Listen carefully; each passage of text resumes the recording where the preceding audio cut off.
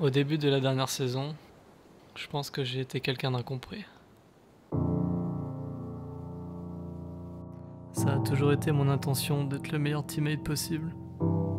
Même si ça n'a pas été forcément pris de cette façon. Quand j'essayais de dire les erreurs de mes teammates, je sais que je le faisais pas de la meilleure des façons. Et je sais surtout que je n'y mettais pas les formes. Avec un peu de recul, si les gens euh, auraient appris à me, cerner, ils auraient pu comprendre que je faisais pas ça pour moi, je faisais pas ça pour eux spécialement, je faisais ça pour l'équipe.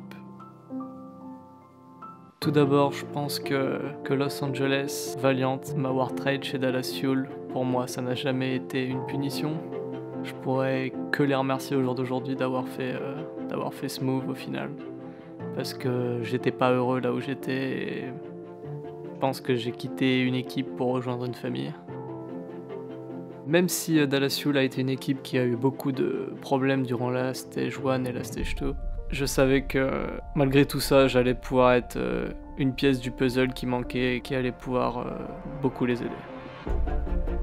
On ne pouvait pas faire pire que notre stage 3, pour être honnête, mais on a surmonté la pente grâce plus ou moins à Aero qui a rejoint euh, l'équipe justement début Stage 4 et qui a fait un travail énorme pour euh, nous faire tous travailler ensemble. On n'était pas forcément les meilleurs joueurs individuels, mais on a su gagner en équipe contre des équipes qui étaient presque imbattables. On était capable de gagner n'importe qui à partir du moment où on jouait en équipe et on voulait gagner en équipe et perdre en équipe. C'est pas quelque chose que j'ai vraiment retrouvé chez Los Angeles Valiant, mais c'est vraiment quelque chose que j'ai eu chez Dallas.